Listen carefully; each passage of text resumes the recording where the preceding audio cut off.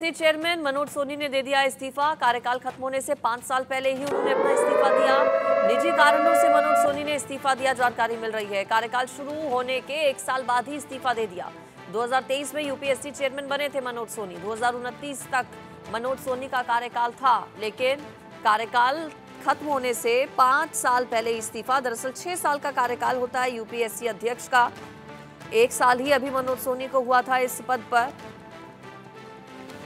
पिछले साल 16 मई को 2023 में ही यूपीएससी अध्यक्ष का पदभार संभाला था मनोज सोनी ने। और छह साल का कार्यकाल पूरा होने से पहले ही इस्तीफा उनका। हालाँकि व्यक्तिगत कारण बताए जा रहे हैं इसके पीछे। बताया जा रहा है कि उन्होंने निजी कारणों से इस्तीफा दिया है।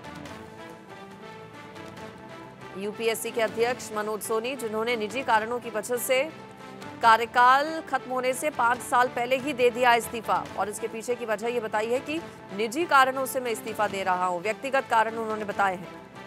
2017 से यूपीएससी सदस्य के रूप में उन्होंने कार्य किया था, जिसके बाद पिछले साल 2023 में 16 मई को यूपीएससी का अध्यक्ष उन्हें बनाया गया था। एक महीने पहले ही बताया जा रहा है कि राष्ट्रपति को अपना इस्तीफा मनोज सोनी ने सौंप दिया था। हालाँकि अभी पता नहीं चल पाया कि इसे स्वीकार किया जाएगा या फिर नहीं। पीएम मोदी के करीबी माने जाते रहे हैं मनोज सोनी।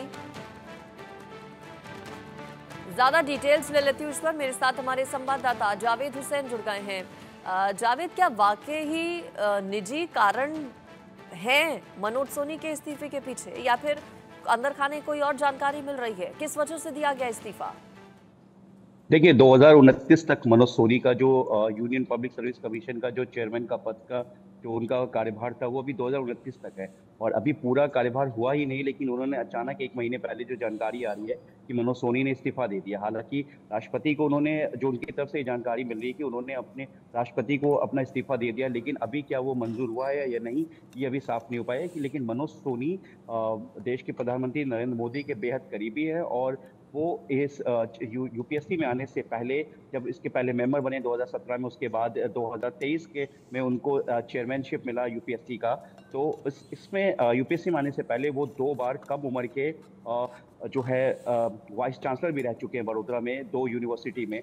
और जब, अब जिस तरह की बात आ रही है, हालाँकि ये भी खबर आ रही है कि पूजा खेलकर का मामला जो है, जो यूपीएससी में फर्जी पेपर और डॉक्यूमेंट्स के बेस पर जिस तरीके से नौकरी पाने का मामला सामने है हालाँकि इसका इस इस्तीफे से कोई लेना देना नहीं बताया जा रहा है। लेकिन ये उनकी तरफ़ से जो जानकारी मिली कि निजी कोई कारण दिया गया है, जिसकी वजह से वो इस्तीफा उन्होंने दिया यूपीएससी चेयरमैन से, लेकिन फ़िलहाल अभी ये साफ़ नहीं हो पाया कि क्या उनके इस्तीफे को मंजूर कर लिया गया है या नहीं, क्योंकि मनोज सोनी का जो अब तक का कार्यकाल रहा है, वो बेहद अच्छा रहा है और वो बेहद ही कम उम्र में दो बार वाइस चांसलर रह चुके हैं। तो गुजरात के दो यूनिवर्सिटीज़ के और पीएम के बेहद करीबी और जिस तरीके से यूपीएससी का एक कार्यकाल दो दो हज़ार तेईस उन्होंने संभाला, दो हज़ार सत्रह में वो इसके मेंबर भी थे यूपीएससी के और ऐसे में उनतीस तक उनका कार्यभार है और अब जब उनके पूरा भी टर्म रह रहा यूपीएससी चेयरमैनशिप का तो चेयरमैन का तो ऐसे में वो इस्तीफा उन्होंने दे दिया और अब वो जानकारी मिली कि वो वापस गुजरात जाना चाहते हैं। वहाँ किसी प्राइवेट जो है आश्रम है वहाँ से वो अटैच होना चाहते हैं। लेकिन ये सब अभी सिर्फ़ जानकारी है। लेकिन फ़िलहाल यही है कि अभी क्या इनका इस्तीफा एक्सेप्ट हुआ या नहीं, ये साफ़ नहीं पाई लेकिन ये जानकारी है कि मनोज सोनी ने यूपीएससी चेयरमैन के पोस्ट से इस्तीफा दे दिया है। बिल्कुल ये भी बताइए कि क्या ये इस्तीफा स्वीकार होगा या फिर नहीं? चूँकि बताया जा रहा है कि एक महीने पहले ही राष्ट्रपति को मनोज सोनी ने इस्तीफा अपना दे दिया था। निजी कारण ही बता के ये कब तक पता चलेगा कि ये एक्सेप्ट होगा या नहीं? जावेद। जी, देखिए, ये बिल्कुल सही है कि उन्होंने एक महीने पहले अपना इस्तीफा जो है राष्ट्रपति को उन्होंने सौंप दिया है और उन्होंने ये बताया है कि वो निजी कारणों से वजह से वो इस जो पोस्ट है यूपीएससी चेयरमैन का वो आगे इसको कंटिन्यू नहीं करना चाहते हैं और वो चाहते हैं कि उनको यहाँ से उनके इस्तीफे को मंजूर किया जाए।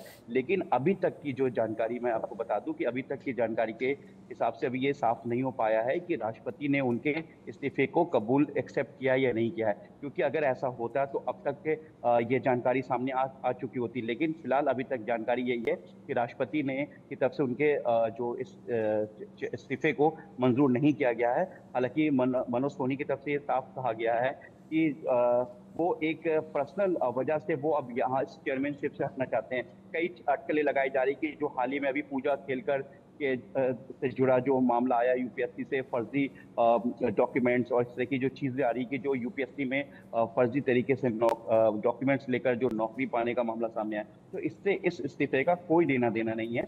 मनोज सोनी ने अपने पर्सनल वजह से उन्होंने इस्तीफा दिया है। लेकिन यूपीएससी हम्म। देश का सबसे प्रतिष्ठित जो सबसे रिस्पेक्टिव जो है ऑर्गेनाइजेशन है और इसका एग्ज़ाम जो है ये यूपीएससी पूरे देश में जो सबसे नंबर वन एग्जामिनेशन कंडक्ट करता है जिसमें सिविल सर्विसेज़ है और इससे कई देश के बड़े अधिकारी इस निकलते हैं। तो ऐसे में इस यूपीएससी के चेयरमैन बिल्कुल और चेयरमैन का इस्तीफा देना भी हैरान भी करता है कि क्या वजह रही होगी क्या यूपीएससी में सब कुछ ठीक ठाक चल रहा है? एग्ज़ाम में ये भी सवाल आता है। बहरहाल आपका शुक्रिया फ़िलहाल जावेद इस पूरी खबर पर जानकारी देने के लिए।